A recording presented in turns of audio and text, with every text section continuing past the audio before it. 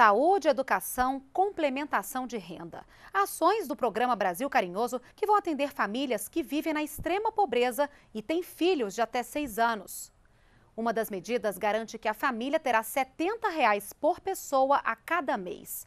Mas como fazer para obter esses recursos?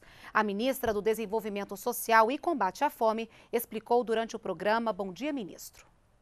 Quem já está no cadastro único, quem já está no Bolsa Família, automaticamente vai receber. As famílias que são extremamente pobres e que ainda não estão no Bolsa Família, nós estamos fazendo busca ativa com o apoio dos estados, com o apoio dos municípios. Nós queremos que essas famílias extremamente pobres sejam conhecidas do Estado, não só para receber renda, mas para receber o conjunto das outras ações que envolve qualificação é, profissional, que envolve, no caso das famílias no campo, fomento, é, distribuição de sementes, quer dizer, são várias ações, em especial para as nossas crianças. Então, o Brasil Carinhoso está voltado para todo o Brasil, as famílias têm que estar inscritas no cadastro único, quem recebe Bolsa Família não tem que tomar nenhuma atitude. O que, que é o benefício?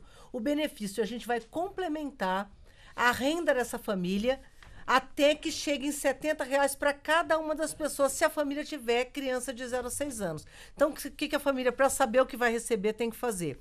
Pegar a sua renda no cadastro único, o que já recebe com Bolsa Família, dividir pelo número de pessoas. Se não chegar em 70 reais, vai receber a complementação. Agora, ela não precisa requerer. Esse benefício vai ser pago automaticamente.